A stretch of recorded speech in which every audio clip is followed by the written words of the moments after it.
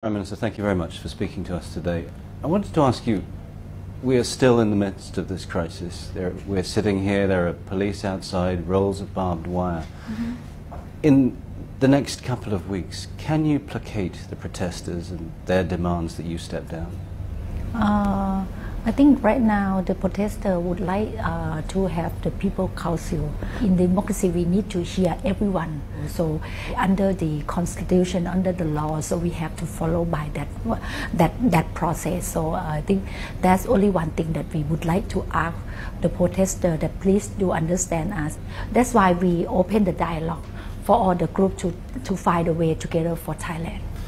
You mentioned we're in the process building out to elections on the 2nd of February for those elections to take place, you need a credible opposition to participate. Mm-hmm. We understand yeah. the, the Democrat Party are currently considering their participation. What will you do if they announce tomorrow that they're not going to take part?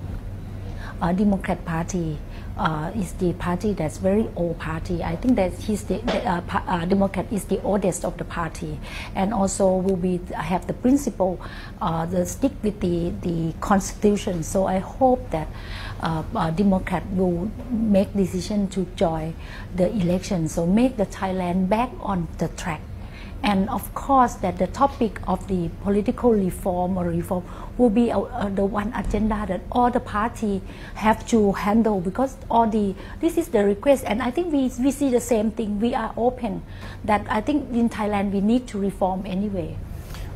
Absolutely except that we're in this position because of an amnesty bill that your party proposed that it mm-hmm. pushed through it was deeply unpopular with your own supporters, the red shirts, who didn't like the amnesty it was going to give to those involved in the 2010 crackdown. Many people say it's a, a personal favor to your brother to bring him back. Do you regret introducing that amnesty bill? I think let me talk about this. I don't think people deny on the amnesty, but people might not agree on the detail of the element of the amnesty. But I think all the, the information is like maybe uh, the, the miscommunicate, so make people misunderstanding about this act. So that's why a lot of people. But anyway, all the party concerned already uh, commitment to the public that won't bring this amnesty bill again. So I think this is already over. But the protesters still keep raising of the point until not be uh, not uh, satisfied with the amnesty bill, but right now they would like to propose the people council, which doesn't have exist in this law. So that's why we can't fulfill their need. We try every day, every time. You, you can see that our government have very uh, try to uh, give open the floor or any open the dialogue for the protester to talk to us or to talk to whoever can be the the coordinator to talk. So this that's why you can see many progress that we we we, we propose. It's I think well accepted that your party uh, will probably win an election in February with a probably a very large majority as you did two years ago. But the fact remains is there's still a very large section of Thai society which is unhappy with your leadership, which is unhappy with your family and your party. How can you possibly work with those people, particularly given that they are in positions of power in the establishment? The next election, I don't know that whoever will win, I can't tell. The chance might go to Democrat if people support and if the protesters support. So that's why we return the power by this soap.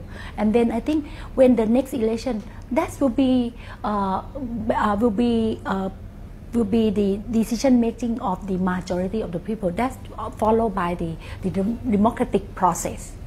But we are locked in something of a cycle of political deadlock. Right. Uh, your government comes into power. We see protesters out on the streets your government is deposed, then we see the other side coming out on the streets. We've seen it repeated seven times now. But I think, yes, we understand the cycle. So you have to have the principle that you have to accept or recognize the voice of the people. So that's why we need the right process. But I think oh, one thing that, um, of course, that whoever gonna win election, they will bring the topic of the reform of the countries you do keep winning elections. Your brother kept winning elections, and yet you are not allowed to stay in power. we've seen massive protests. They're well funded, they're well organized. They have a symbolic leader in Mr. Suthep. But who do you think is really behind this? Who really wants your family to step down from power? I don't know. I can't tell. I think that's why I, I don't know. I just know that we have to find any mechanism that uh, people respect of the majority of the decision of the people. So that's why uh, we call for election. But I don't know any other mechanism that can help and I don't know uh, uh, who support uh, Kun but I know the only thing that only one thing that we know by the vote of the people